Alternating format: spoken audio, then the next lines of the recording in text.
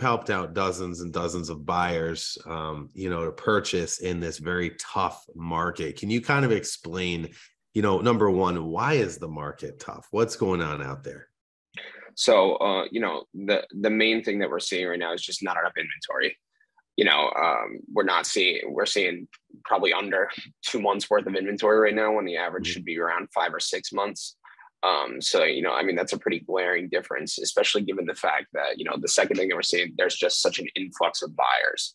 Um, earlier this year, late last year, when Rhode Island Housing rolled out this seventeen thousand five hundred dollar grant for uh, you know these first time home buyers, even if people weren't qualified, even if they didn't do their homework on exactly what it meant to take advantage of this program, you just saw them flooding the market. So you just saw every open house that we that we go to now especially in that first time home buyer range, you know, like the, the 325 to, to four range, there's, there's 75, 80 people at every single open house. Mm-hmm. And, and even if the house, you know, doesn't warrant that, we're still seeing we're, we're seeing 20 25 offers being thrown in we're seeing people waive things we're seeing people go crazy over ask you know it's it's tough right now now andrew when you're walking in and you have a buyer and you're walking into an open house and there are 60 70 80 people and you're in a line down the road with these buyers what are you saying? What are you doing to help reassure them that hey you know what? We're going to find you the right home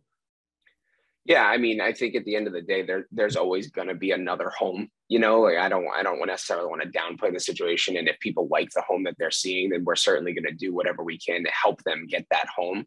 We're mm-hmm. going to negotiate on their behalf. We're going to talk to the sell side to see exactly, you know, what's the most important thing to these sellers because beyond you know it's it, i don't think it's just about the price at this point when the set when it's such a seller's market like we're in right now they have so many, you know, they have so many freedoms here where they can kind of dictate all of the terms in the contract.